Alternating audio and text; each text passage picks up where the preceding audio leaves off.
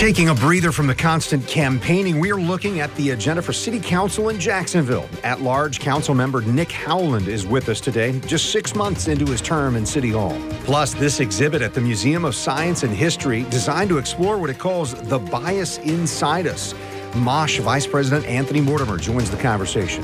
And solving problems instead of turning a blind eye to the bad news. Vic Micolucci explains our new programming called Solutionaries, all ahead on This Week in Jacksonville. Welcome to September. Thanks for being with us today. And we start this morning from City Hall in Jacksonville. City Councilman Nick Howland is joining us, representing at-large Group 3. And this is interesting, the councilman elected in a special election, so you've really been on the job six months as of, I think, this week. What's that learning curve been like? Well, first of all, Kent, thanks for having me. The learning curve has been steep. I mean, frankly, um, I entered council mid-council year. Right. So I've got to vote on 40-some odd items in my first council meetings that my colleagues have seen for one, two, even three readings. So it was a lot of studying in the very beginning. And now I'm in the cycle. So um, I've really enjoyed it. I enjoy serving. I've enjoyed serving in the Navy. I have enjoyed serving over 20 years manufacturing uh, life-saving products for military members and first responders. I've enjoyed helping end veteran suicide across the state of Florida, and now I'm enjoying being on Jacksonville City Council. So what have been the biggest, I guess, surprises or challenges so far in terms of serving on City Council? Actually, the biggest uh, uh, surprise, it shouldn't have been, but is how warmly I was welcomed um, by my colleagues at City Council. I mean, keep in mind that I ran a special election to replace a long uh, time beloved leader in Jacksonville and Tommy Hazouri, who served over three decades uh, for his city. And uh, my colleagues have embraced me. In fact, I credit then Council President Sam Newby and current Council President Terrence Freeman for uh, welcoming me so warmly. And not only that, but kind of throwing me in the deep end as far as leadership, because here we are six months in, and I'm vice chair of the Rules Committee, chair of the Jacksonville Waterways Commission. Um, and I'm enjoying every minute of it. Yeah, and I'm sure anybody coming into that is like, there's no way you can replace Tommy Hazouri. That's right. Uh, but crafting your own path there, you know, candidates often uh, are accused when they run on a platform, hey, they didn't fulfill their campaign promises. How do you feel like you've done on that? Are there promises from the campaign that you feel like you're living up to? In my campaign, I focused on three goals. Uh, safer streets, job growth, investing responsibly in every neighborhood in Jacksonville. From a Safer Streets perspective, I'm now the City Council's liaison to the Jacksonville Sheriff's Office, and we're about to approve the strongest, most technology-driven police budget that the city has ever seen. Uh, from a job growth perspective, I'm one of only a handful of council members who has manufacturing experience. I've brought three businesses to Jacksonville, relocated them here, so I'm working with the Office of Economic Development to tweak our incentive program to figure out how we attract more manufacturing and distribution companies. And then from responsible growth in every neighborhood, I sit on the Land Use and Zoning Commission, and we can't approve responsible development fast enough um, all ways that I've been able to make an impact so far in just six months. And you referenced uh, the technology and the policing budget. So almost $540 million is what that proposal is for JSO. That's right. Uh, is that something that council is, I mean, it's, it's an important part of the year. City council is going through the budget approval process right now. Where do we stand on that? We will vote on that budget on September 27th in the city council meeting. And frankly, Kent, if you had told me we're going to have a budget that has historic investment in public safety, um, massive infrastructure investment, parks, roads, drainage, septic tank removal, while also kind of increasing our reserve funds for rainy days and decreasing the property tax rate, I would have said you're crazy, but that's the budget that we have, and I look forward to approving it on September 27th. I, I know this is at the federal level, but there's a local connection. This week, President Biden spoke uh, speech in Pennsylvania, he said, hey, the solution is not defund the police, it's funding police. Well, clearly, an increasing budget for JSO.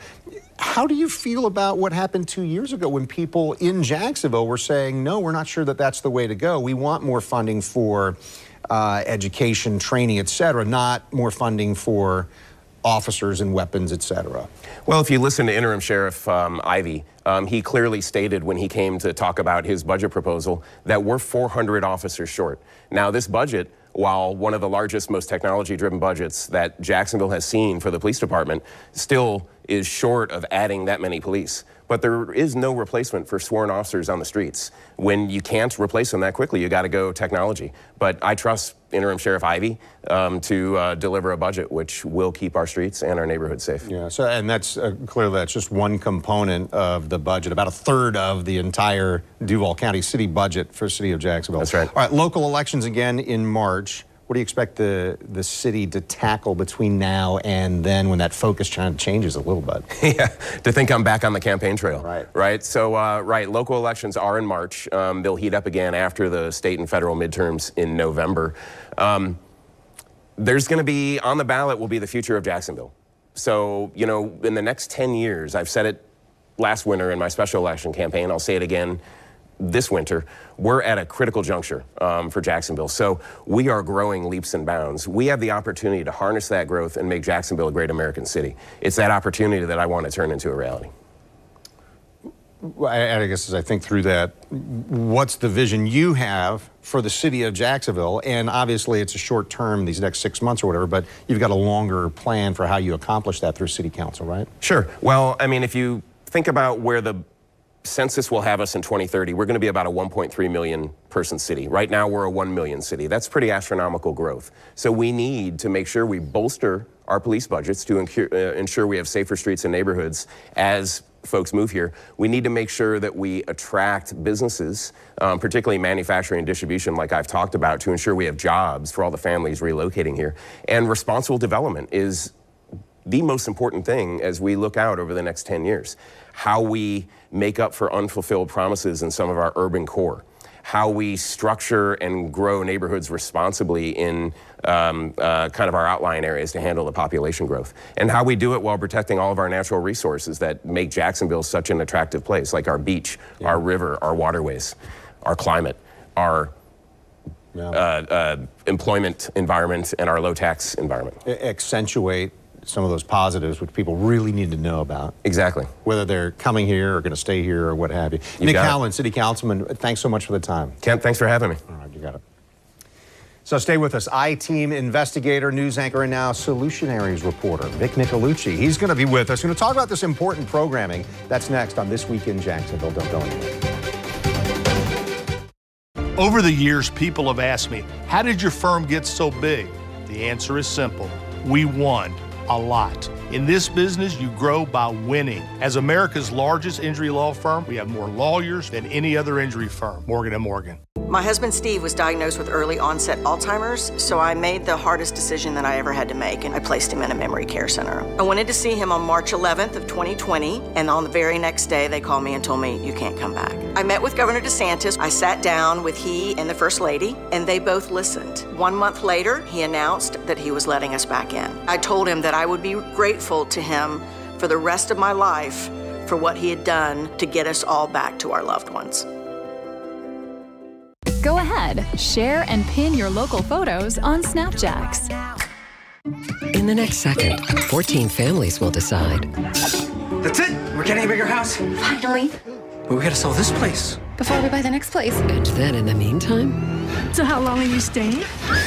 Emily, no! Oh, a little cramped. I am CPAP man. That is not a toy! Or skip the in laws. Sell and buy your house with confidence with Opendoor, Move when you're ready. That's it. Indeed. When life's doors open, we'll handle the house. Why do you need new floors? How often does this happen? Never mind. Our kid proof floors can take it. Right now, you can save up to 50% on specially marked kid proof flooring and get special financing on select purchases made with your Floor Trader credit card. Save on beautiful hardwood, carpet, luxury vinyl, tile, and more. It's in stock and ready to go. Floor Trader, the money saver. Shop incredible Labor Day savings now at Bears Furniture with remarkable savings even on brands that rarely go on sale. Save 50% or more store wide with 0% financing available. Shop the largest selection of Tommy Bahama home and more, like this gorgeous Avondale bedroom now 50% off. This beautiful Bernhardt sofa is only $19.98, and this coastal living dining table just $8.98. Shop now through Labor Day Monday. Where Bears. It's the weekend, and we know accidents can happen anytime. That's why we're here for you 24 7. Don't wait until Monday. Call Farah and Farah. The third annual Jacksonville Image Awards returns for an in-person gala, and we want to see you there. Join us as we celebrate African American to inspire and make a difference in our community. Tickets are on sale now, and this is such a special event. With live musical performances, inspiring stories, plus the chance to recognize people who are making black history. The third annual Jacksonville Image Awards Gala, presented by the Porter Firm, Saturday, September 17th. Get your tickets now at news4jax.com. You're watching This Week in Jacksonville with Kent Justice. Investigating big problems affecting you and more importantly, looking for the solutions. That's the goal behind solutions journalism and the wheels are turning right here in Jacksonville with a new digital show called Solutionaries. Reporter and anchor Vic Micolucci is with us. He's part of this nationwide project which uh, aims to make a difference. Vic, something compelling as I've been learning about it and getting to see what you're doing now. So tell us how it works. It's really interesting. So, Kent, you and I, we've heard from people in our community, our viewers, right? Yeah. They're tired of all the bad news. They yeah. hate turning on the news and then just hearing about problem after problem after problem.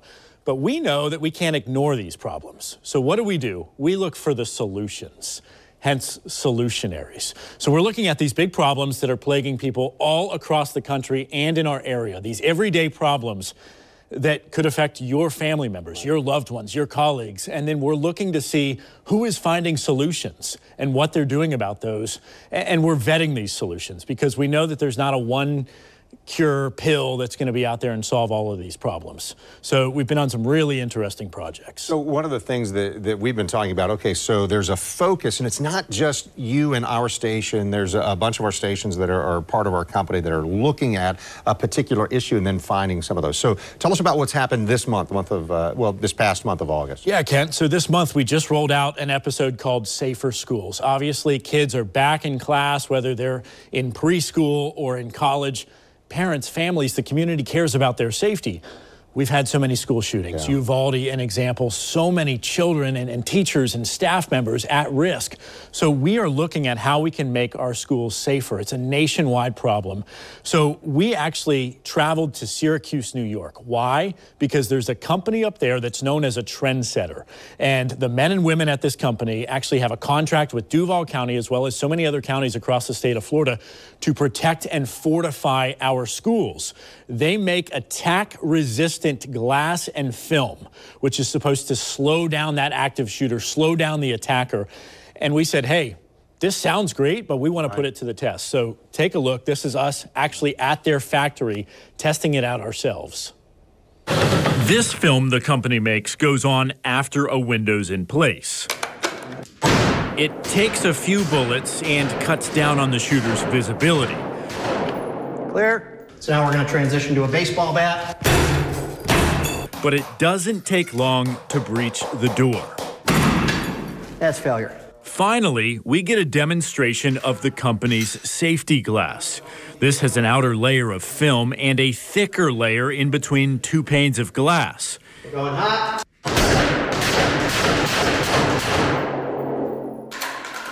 Then he let me put it to the test.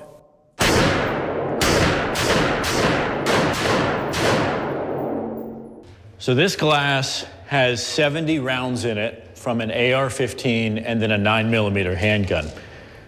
We have some small holes, but the question is, am I going to be able to break through it with this baseball bat?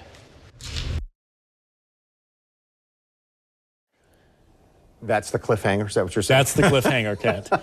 this was something as as we ran this program, we ran it on air. There's also a digital component that Vic will talk about here in a moment.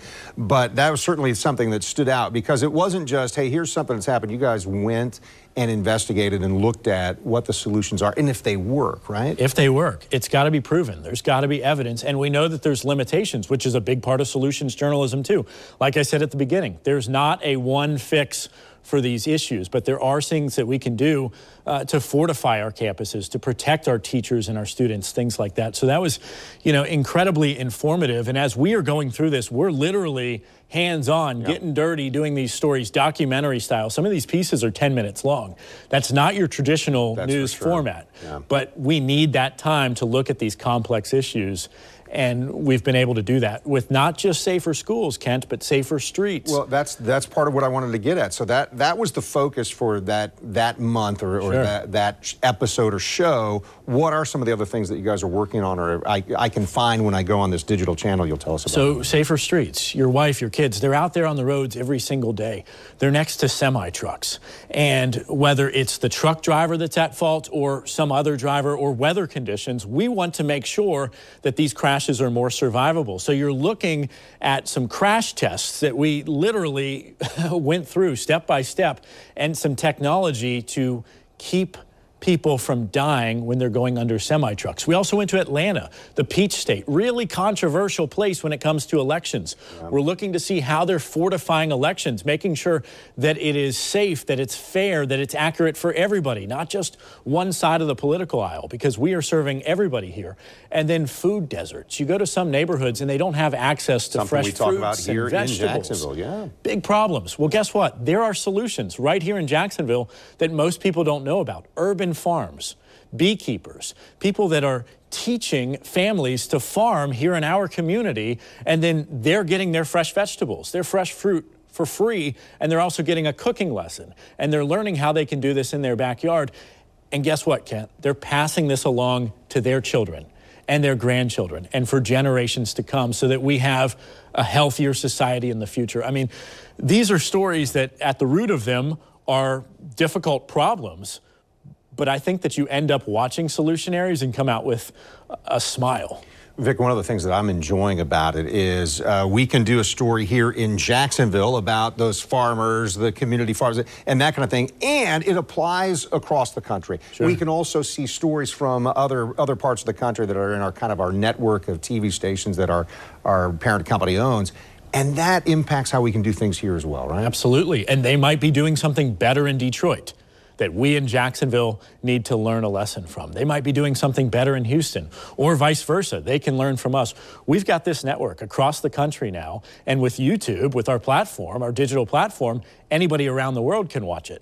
And we can all collectively come together for solutions to make our individual communities better.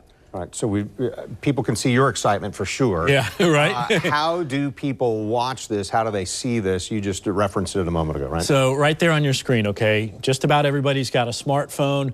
Go out there, take a picture of this, put the camera right up there. You can see that QR code. QR code yeah. The QR code right there. It's going to get you straight to Solutionaries. So it's on YouTube. You can stream right there. You can watch it anytime, 24 7, Kent, and you can watch the content from all across the country. And then also our handy dandy News for Jax Plus app. Yep. So on your streaming devices, on your phones, you can watch our full episodes. Our episodes are about an hour long. You can watch the entire episode of an hour long worth of solutions, or you can pick and choose the specific topic that you want and maybe spend five, ten minutes learning about it. How, how often are new episodes coming out? Once a month. So I'm already working on the next one with the team. Really exciting with about? this one. for you, for you, I will tell you. For our viewers, yes. So it's on the labor force. Okay. There's so many people that are struggling to hire or struggling to get a good job or struggling to get a decent wage. So we are looking at what these new students want, what these employers want, what the job market wants, and then also some of these perks that are out there. Maybe you want to work from Italy. Maybe you want to work from a sailboat there's jobs out there that are doing that. You just inspired. you just inspired many of us who are watching right now. Yeah. Vic Micolucci, appreciate it. Uh, this is exciting. Thanks for explaining uh, how we can be uh, absolutely uh, benefit from this. Yeah. Thank you. We need you to stay here in Jacksonville. I, I'm, I'm Don't work from a sailboat. I'm planning on it. Thanks, Vic. All right, stay with us. Still ahead, a look at the new Smithsonian Institution traveling exhibition. It's all about unpacking and demystifying the concept of bias, and it's here in the River City. So stay with us on This Week in Jacksonville. The First Coast Heart Walk is back. Come to the Jacksonville Fairgrounds on September 10th and encourage family and friends to join you.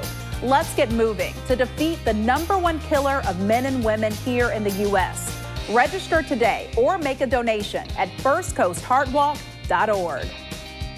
At Farah and Farah, we do big things. We take on the tough fights. For over 40 years, we've proven we can win the big cases. You can get your smile back today. At Affordable Dentures and Implants, we make high quality tooth replacement affordable for everyone.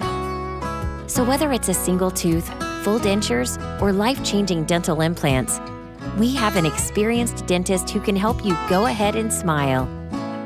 Click or call to schedule your new smile consultation today. Go ahead and smile. Have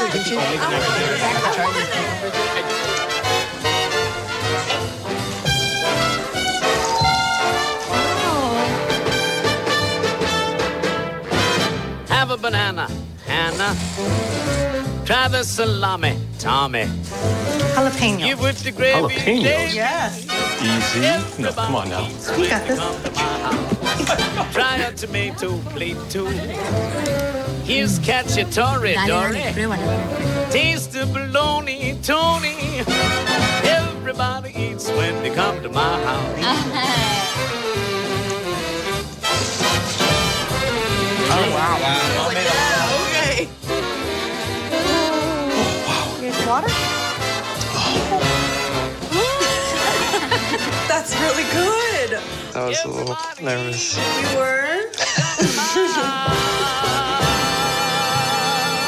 Important health announcement regarding Camp Lejeune. If you or someone you know spent time at Camp Lejeune, North Carolina prior to 1988 and developed any of these cancers or suffered any of these injuries, you may be eligible for significant financial compensation. Call Camp Lejeune victims to discuss your case now. Leaking underground tanks contaminated the drinking water with benzene and other highly carcinogenic chemicals, up to 280 times acceptable levels in some instances. There have been numerous reported cases of exposed personnel developing cancer and other serious health conditions. It is critical to take action and call Camp Lejeune victims now.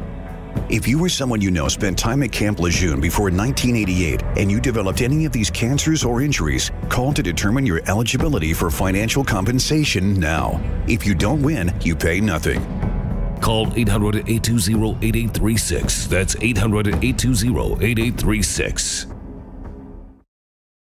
You're watching This Week in Jacksonville on Channel 4. Thanks for staying with us this morning. Jacksonville's Museum of Science and History has a new exhibit that I, I, really think is compelling. Joining us this morning, Dr. Anthony Mortimer, the Vice President of Education and Exhibits at MOSH. Dr. Mortimer, uh, the exhibit's called The Bias Inside Us. Mm -hmm. And just the title caught my attention. So tell us what this is about. Good, and I can't take credit for that. Smithsonian designed this intentionally uh, to really catch people's attention and draw them in. This is not a topic that we would normally, as humans, just voluntarily discuss. Uh, but the main point of the exhibit is that we may not be discussing implicit bias because we are probably not aware of it a lot of times.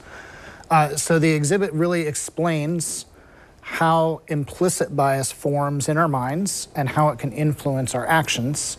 And then once we're aware of it, what can we do to counteract any negative attention that that might uh, yeah. bring to our decision-making process. So I, I want to show you some of the images that you'll see at the exhibit here, uh, and then this is the description. The powerful exhibition features compelling images, hands-on interactives, powerful testimonials and videos that unpack and demystify the concept of bias. So how was this created and then how, how does it work? Uh, Kent, the, this originally started uh, after the Ad Council's Love Have, Has No Labels campaign in 2015, uh, which was a nationwide ad campaign encouraging us to really get to know one another, uh, to understand yeah. rather than Not proceeding with assumptions, right? Uh, which is something that human beings do, and that's really the emphasis. They wanted to show uh, a, an easy way to differentiate between implicit bias, which happens automatically in our brains because that's the way our brains work as humans. And we're usually not aware of it, but it does influence our decision making process. Uh, Yeah. Versus explicit bias, which is we are acting in You're a making a specific way based on those, and it's usually in a way that's unfair or false. Yeah, And it's interesting, and I think the reason that this caught my attention will catch the attention of, of other people as well, is because you're right. You, you, you don't think about some of those things. You make choices or actions or statements in some cases, and you, if you walk back, you say, well, where did that come from?